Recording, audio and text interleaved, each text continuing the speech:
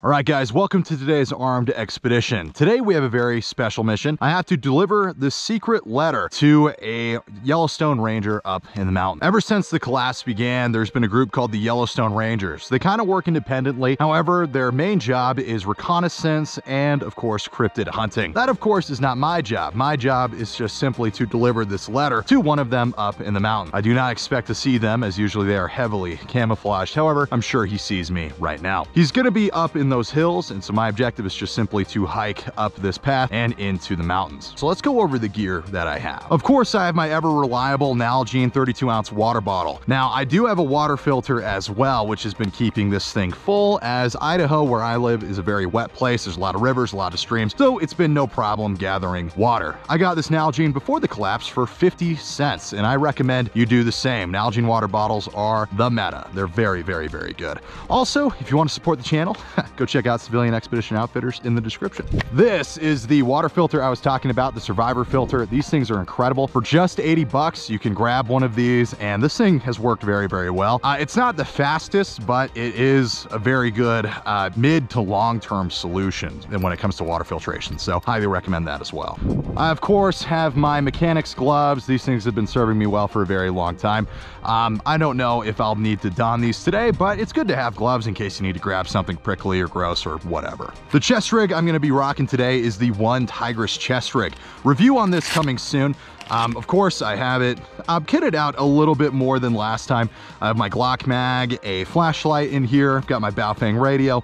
Um, in this little admin pouch, you can't fit a lot, but I've got a compass in there. Um, my wallet, keys, and phone, of course, will be going in there as well. It can also hold up to four AR mags. There is a way to make it hold eight. Uh, my personal chest rig, it has not done that well, so um, yeah, we'll have to see if I'm able to make that happen. But for now, um, there is an extra magazine in there I'm gonna put in. It is carrying four on the chest and one in the gun, which for this specific mission should be fine. So I guess we'll have to see. Of course, I have hearing protection and in the bag, I have some 22 long rifles from CCI Mini Mags and I have the CMMG conversion kit as well. The CMMG conversion kit is so inaccurate. It's hilarious. Um, again, review on this coming relatively soon. I'm able to squeeze about maybe four MOA out of this out of this conversion kit if I'm lucky. Um, so hypothetically for small game hunting, it might work. I guess we'll have to see. Of course, I'm also carrying my Rush 24 backpack. Already did a review on this. Go check that out.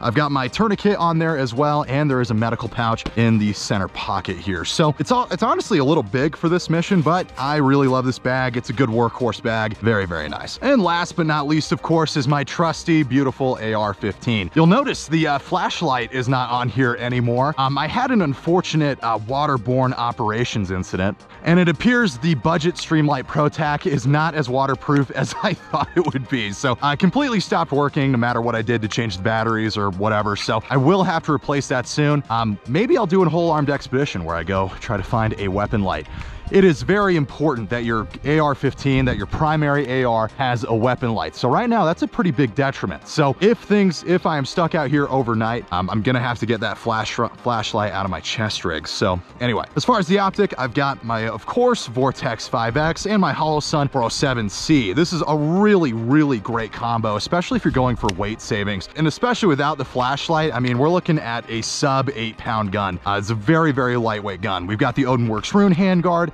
the Magpul CTR stock, which is great, the Magpul K2 grip, which is also great. Please stop buying BCM, it's making me mad. I'm also playing around with aluminum mags, and so far, yeah, they're kind of cool. So yeah, anyway. I'm also gonna be taking my Casio F105. It's basically the same as the Casio F91, which was worn by famous fashion icons, uh, Barack Obama and Osama bin Laden. It's basically the same as those, except it's got a good backlight for when it gets dark. But this watch is completely bomb-proof, and it's probably my Gucciest piece of gear, coming in at $20. Let's go ahead and get to our Ranger. Also, if you're looking to do some armed expeditions, some training exercises like me, I really recommend using soda cans. They're a very small target, which forces you to try and be a little bit better and a little bit more intentional with your shots. So yes, it is convenience that I'm using this, but it's also, there is a pragmatic element to it where you don't want to necessarily be challenging yourself on IPSC targets all the time. Maybe you should be shooting at targets that are a lot smaller so you can become a little better. So anyway, let's get going. To demonstrate what I mean, here's some footage from a gondola hostage rescue mission I simulated just the week before. I was using a Monster energy drink can that simulated a hostile dwarf.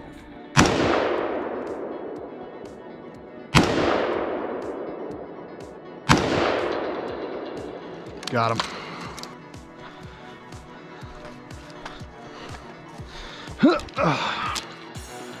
Grape dwarf down. Gondola safe. All right, mission success. Let's get you home, bud. Anyway, let's get back to delivering that letter to our ranger.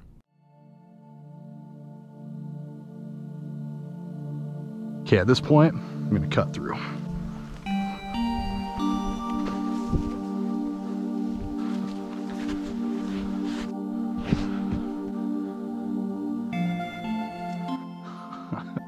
Man, those cows just keep going. You know, it is interesting to think about. Depending on how the collapse happens, it's entirely possible we'll be seeing giant herds of wild cattle. And those would be a really excellent food source, man. A lot of calories, a lot of protein.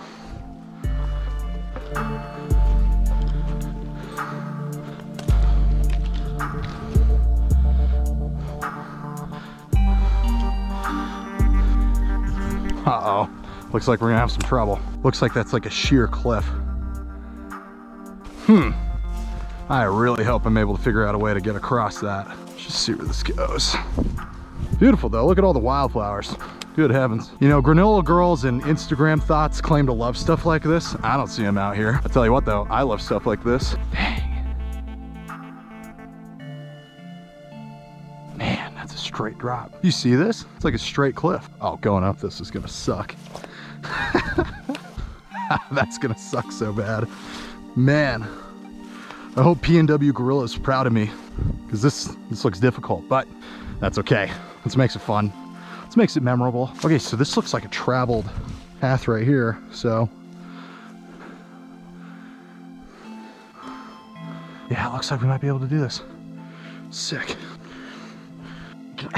if you think going up a hill is hard, you should try going down a hill, especially a very muddy hill.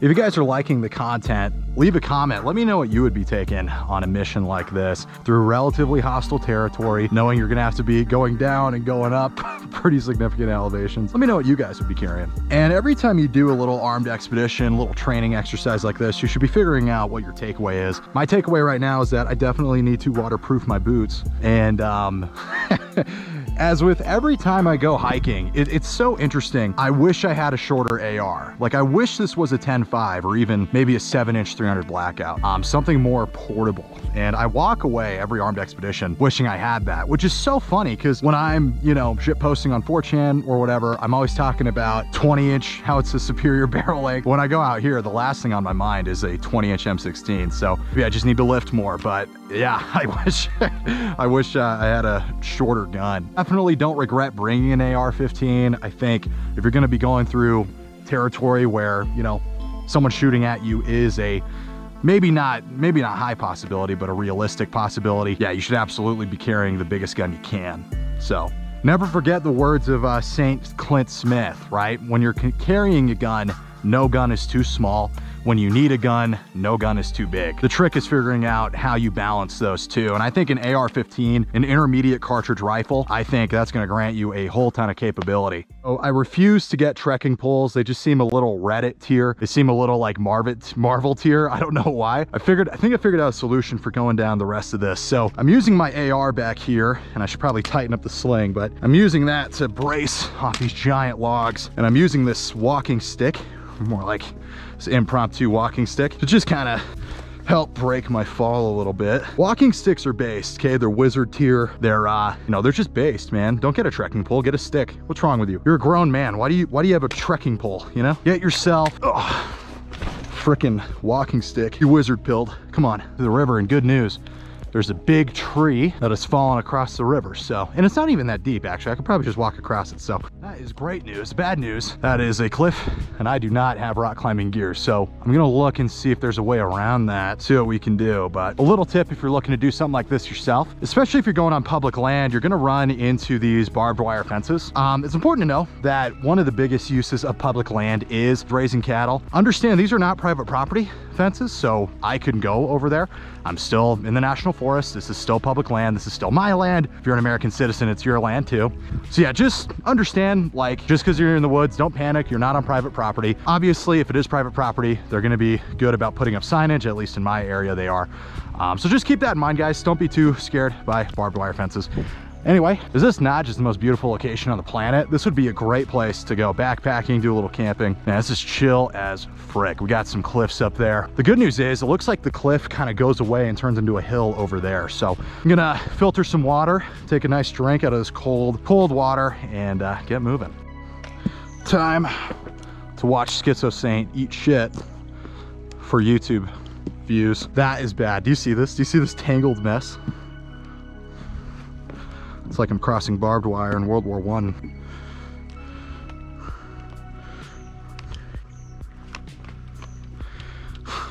I'm a pretty big guy and I'm an even bigger and heavier guy with all my gear on me. So yeah, the chances of that breaking are not zero, especially because this tree is freaking ancient. Okay, all right, I think the plan now, I'm gonna get on my butt, scoot over. Okay, there we go, good to go. Okay, over there. Oh, oh, oh, sick. We did it, boys. Yeah, I could, probably could have just crossed, but that was more fun. I'm always looking for locations to share with my son one day, my family, you know, places that are off the beaten path and still beautiful.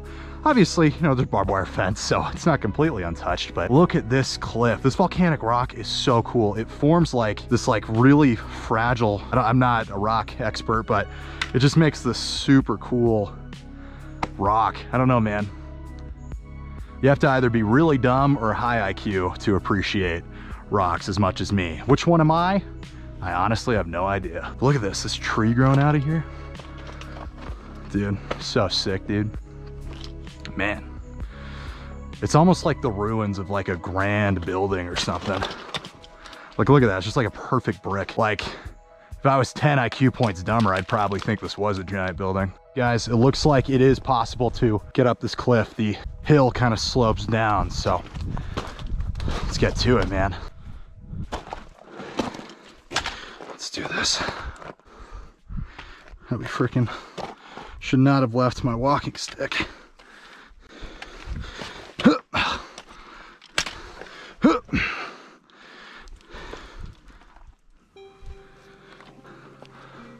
Yo, snake moment.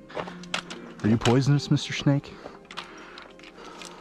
We can be friends, Mr. Snake. You don't look like a rattlesnake, so I'm just gonna assume you're not. Ugh.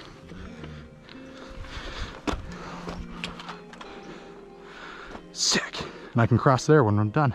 All right, should be relatively easy. Just gonna go up that and then drop it off at the first power line. And then I'm gonna be home free. Let's go.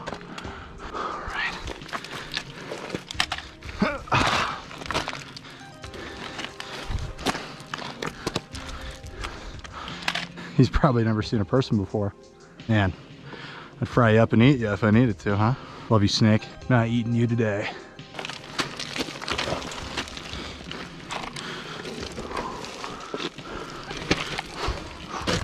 All right, approaching the drop-off point. Yellowstone Rangers, 20, whatever. Perfect. Okay. Job's complete. All right, guys, thank you so much for watching. If you enjoyed this little armed expedition, if you enjoyed this training exercise, please leave a comment. Tell me what you liked. And guys, if you want to see more, go ahead and subscribe. Love you all. Please go in the woods. Do this yourself. It's super fun. Have a great day.